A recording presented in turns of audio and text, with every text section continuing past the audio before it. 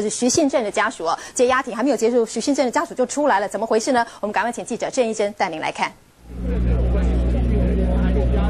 目前在军检署这边呢，军高院还有军地院是持续在开庭当中，有没有机会来交保呢？目前呢还没有答案。不过呢，在稍早大约在五分钟之前呢，徐信正的家属一位女性的家属呢是低头的不发一语，似乎是提前了离开军检署。到底是为什么原因呢？